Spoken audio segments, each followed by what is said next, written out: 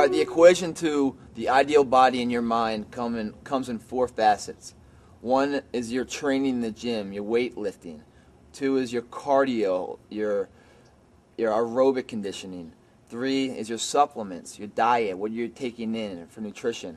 And four is your rest, how much sleep you're getting, how much time off in between workouts. All four of them carry the same weight, 25 each way, to make up that final end state ideal figure you want. You, you can't just lift and don't do cardio. You can't lift and lift and lift without the rest. You need to feed the body after you tear it apart. So let's talk about nutrition, for example. Um, supplements. Everyone's like, what supplements do I use? What do I use here? Well, I'm a firm believer that the greatest supplement you can ever use is your own natural intensity. You go in there, you mind over matter it, and you get in there and you get focused and you get pissed. You get underneath that weight and you throw it up. Um, a lot of times, using supplements, people have a mental edge. They're like, okay, I just took these pills or this liquid or this powder or something. I have this element inside of me, so I should be stronger. I mean, they take the pill for the first time an hour before they go to the gym. It doesn't even take effect if you read the directions till the next day, but because they think they have it in them, they can lift the weight and they're getting a better workout because mentally they think they're stronger.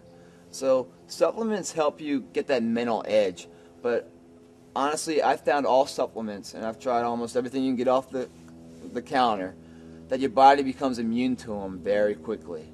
One thing though you must have is protein. That is the building block for all strength gains. And the common formula is if you weigh 185 pounds, you need 185 grams of protein a day. So one pound per every gram um, a day. That's to maintain, I think. I think you should well exceed that. I weigh 190 pounds. I'll get anywhere from 250 to 300 grams a day. Now, how do I get that?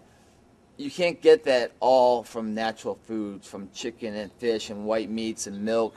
Um, you need to take protein shakes. So I take a protein shake in the morning. I take one before I go to bed, and I load up each shake, so it's a good 100 grams each way.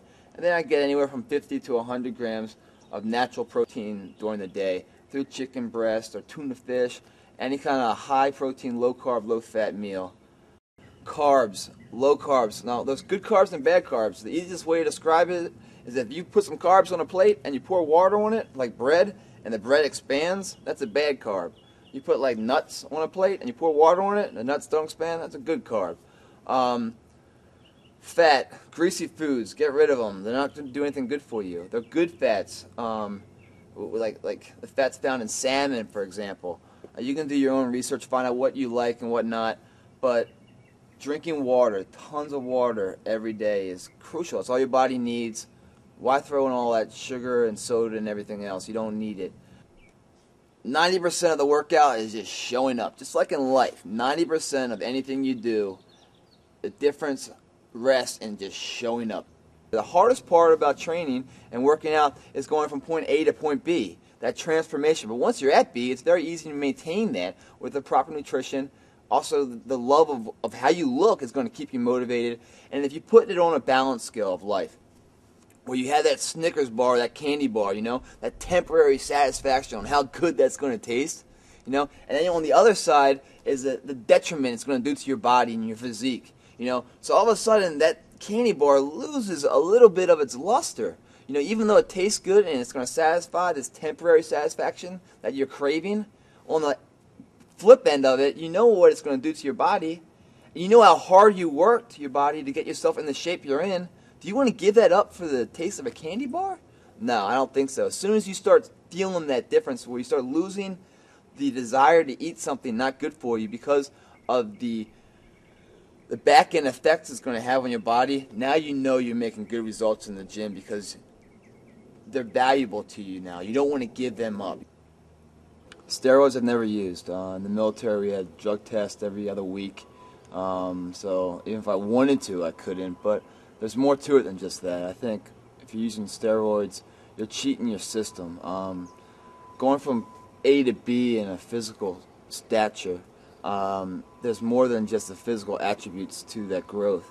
There's a lot of mental conditioning and mental confidence that comes with that transformation. And I think if you use steroids or something like that, you skip over that part.